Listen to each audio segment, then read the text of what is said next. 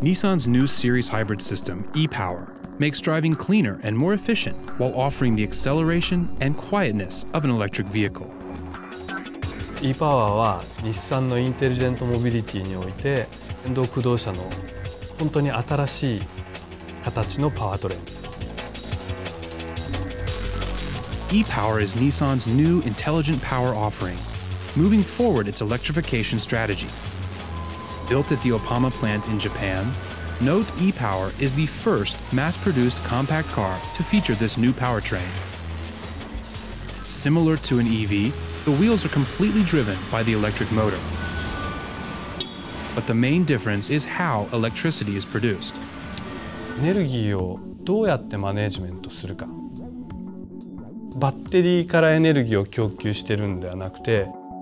結局エンジンで発電したエネルギーを使って走りますんで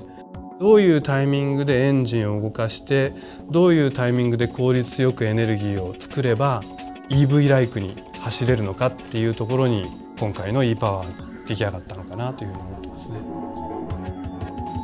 In conventional hybrids, a low output electric motor is mated to a gasoline engine, powering the wheels when the battery is low. But in the e power system, the engine simply charges the battery.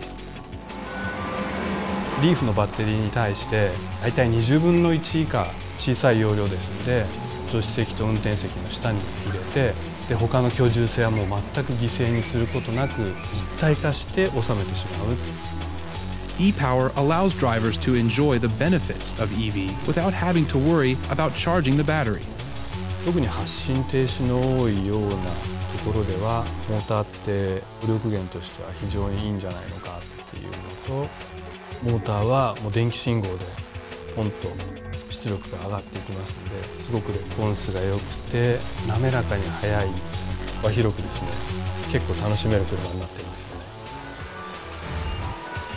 E-Power technology aims to provide customers a gateway to 100% electric cars and further Nissan's pursuit of a zero-emission society.